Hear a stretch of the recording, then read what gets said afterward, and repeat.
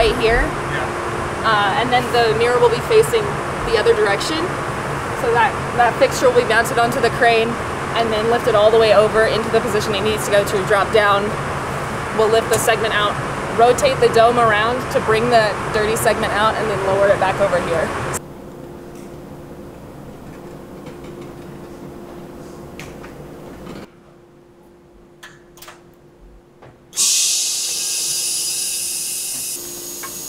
Here comes train control.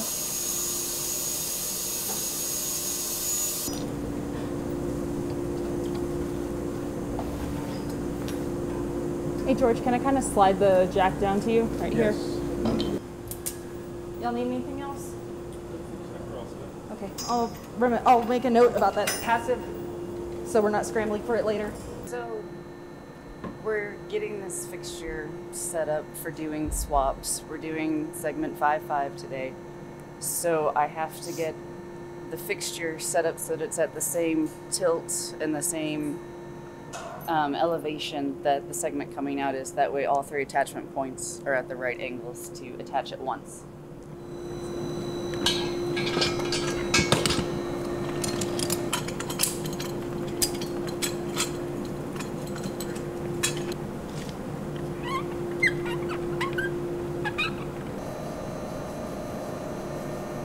How many gears are there? There are 91 in the array, and I think we have four spares. Is that right, Cheney? Yeah, four spares. Do we still need to take the dome around to 70 or just slide it with for to get to 5.5? No, at 35 right now, you're just going to move it straight in. Okay, cool. And once you're in a comfortable spot and lowered some, we'll put it to its pick location of 10. So it's going to rotate around that direction counterclockwise if you're looking from above. Uh, normally we'll do two segments, and we'll typically, when we're fitting in two segments, we show up at like 7:30 in the morning. Um, typically, it's still dark too, so we're working with headlamps at that point, so that way we don't damage any of the equipment that's still doing calibrations in the morning. But we'll get the first segment fully swapped out by about 10 a.m., and then the second one hopefully by noon, and that's assuming there aren't things that go wrong. Sometimes equipment breaks or doesn't cooperate, or some of these are really funky angles to access, and it takes a lot of dome wiggling, and that takes time to get that iteration right.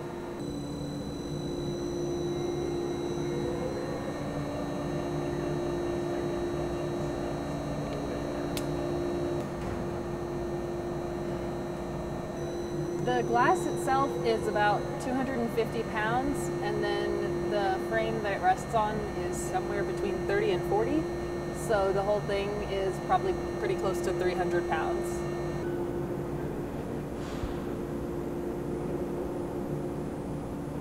And then we just lower it onto that table and move it into the lab so we can get started disassembling it.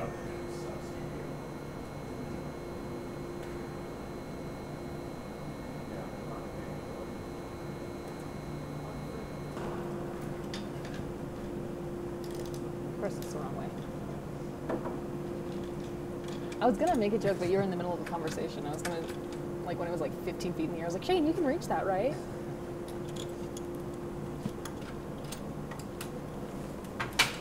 And I was testing the strap. Okay.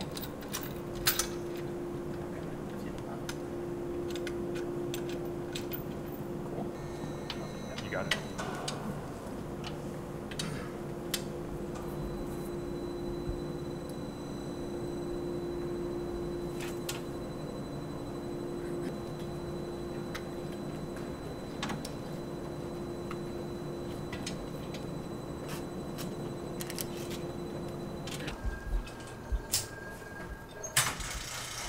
So right about putting hub shims in there when we're taking them out. That would make so much sense.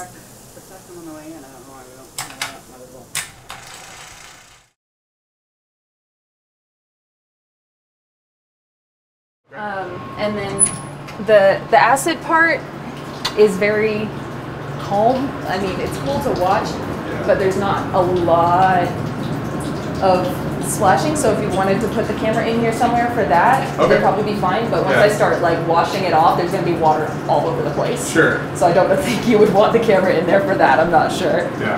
Um, but I'll lay this. I'll go ahead and lay this down flat since I'm in here.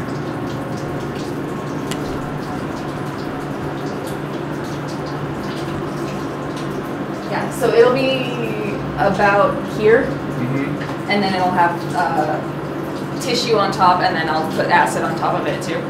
Um, and then yeah, the, uh, that's that part takes maybe 10 minutes, and then the acid sits on there for 15, and then I'll come in here and start spraying water all over the place.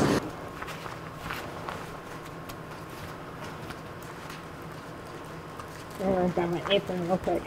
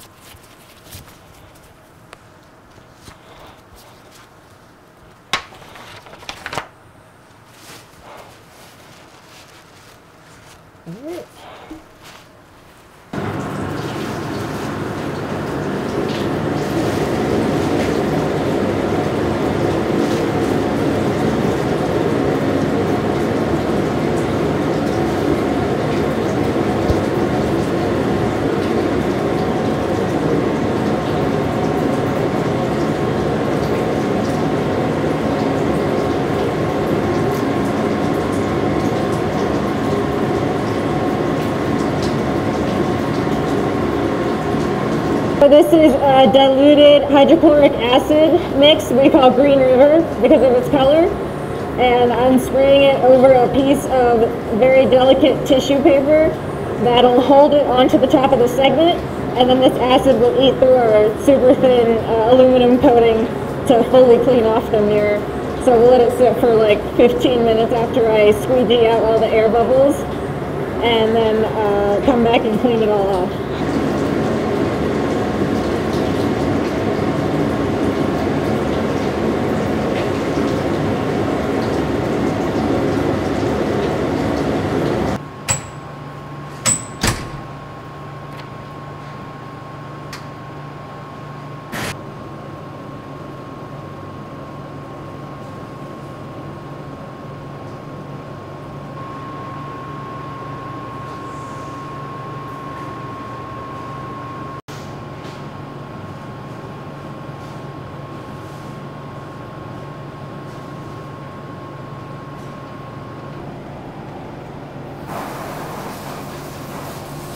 Each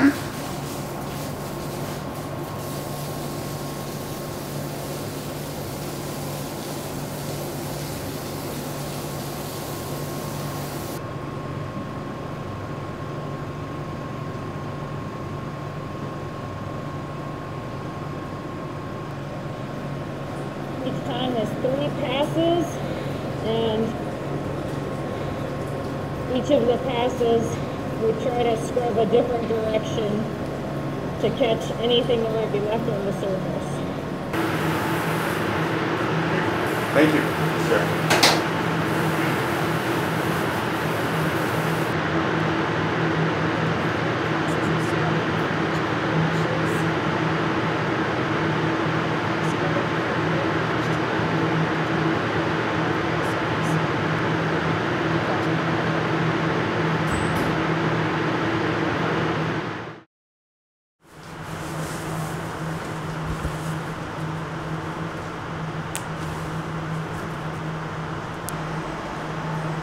Good. The equipment room light is off. Fantastic. i checked it this time Okay. She's turning on the high uh, voltage source to melt that aluminum that's in there to coat the segment. And you can see it goes up to about 10,000 volts. And then power or lights off, right? And we get started. Oh.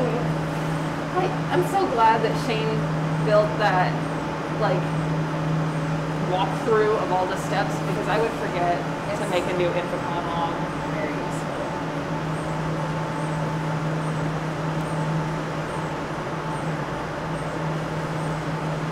now we want to be able to visually monitor how the aluminum is melting, if it's going appropriately. Um, sometimes if there's contaminants in there, you'll see little sparks shooting off around the aluminum, which you don't want to see, but occasionally it happens.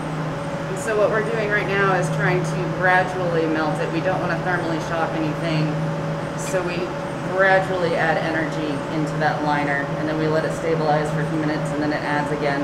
And luckily, it's all automated. It's a program someone created through trial and error. And as long as we keep every run consistent, we can just run the program and it should automate it.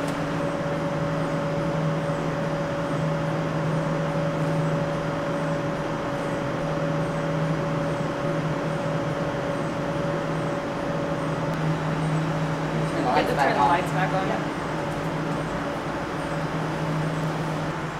That's everything for the coating. Um, so we can't open the chamber right away. It takes like 20 minutes to vent out the vacuum that's in there. Uh, but you you want to give it like 10, 15 minutes before you can start doing that. That way we don't thermally shock the segment that's inside because then you can slump the shape of it. So we can head out.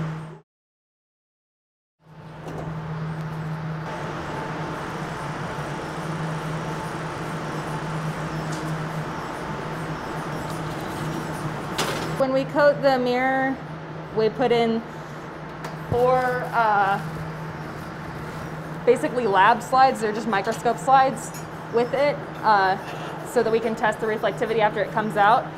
So I'm taking each of those out because it's way easier when it's mounted to the fixture than when it's on the rotating fixture over there. And then I'm also uh, opening up and taking the pins out of the locking mechanism that holds the X fixture to the rotation mechanism.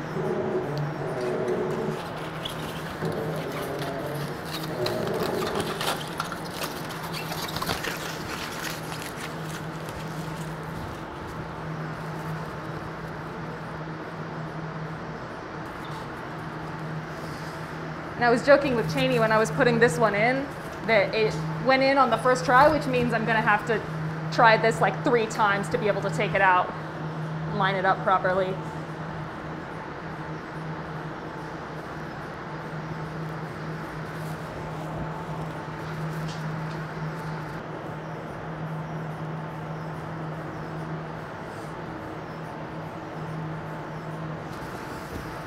And then I connect this to power and crank it up so I can pull the segment out. We have to be able to lift these segments in and out. Um, so I just lifted the rest of the cart up to meet the axles inside of the chamber and then we have to lift it just a little bit to get the tops of those mushrooms out of the spot that they latch into. And then I was wiggling it while I was bringing it back down just to make sure that nothing was pinched or catching incorrectly.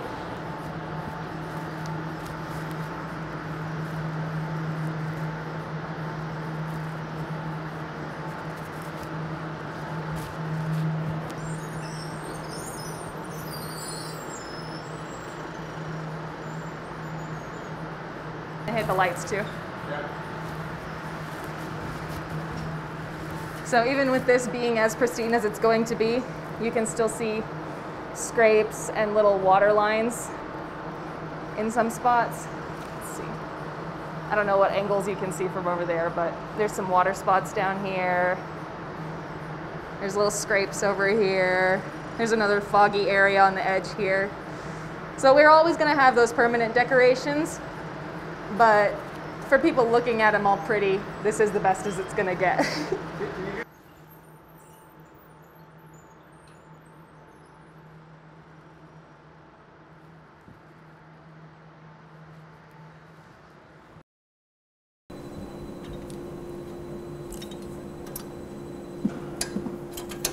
You might need more down. I do. That'll work.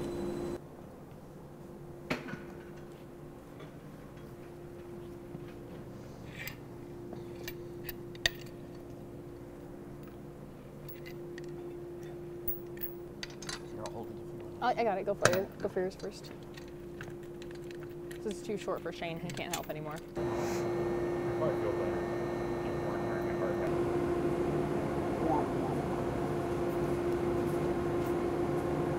How many of these have you done? Uh, this is my second time doing groundwork, but um, for up in the array, How many times? yeah, I don't know. Third. You've been here a little over a year, Yeah. and we haven't been doing them as frequently as we should. But you Maybe know, like 20? yeah, 20 seems 20 like a good so? guess. Oh, yeah, that looks like almost exactly where it needs to be. Yeah.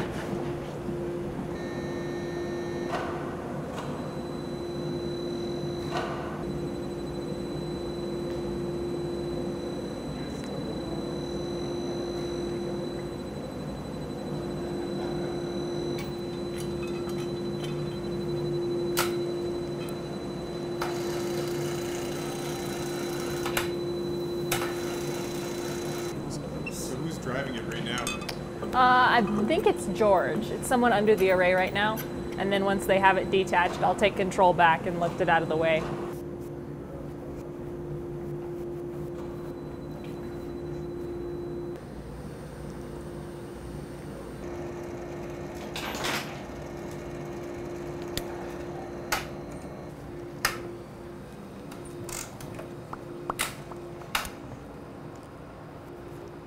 You moved it to 40, right? Um, yes. Okay. Instead of 35, 40 for coming out.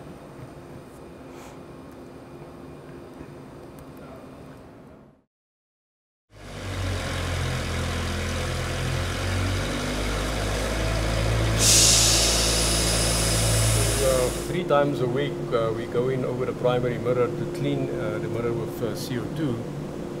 So what we have to do is, is rotate the structure and uh, use this big man lift to go in through this uh, triangle in the telescope structure, then go over the primary mirror and uh, spray it with high purity uh, CO2. And it's basically dry ice uh, snowflakes that we uh, blow on the mirror to remove the dust.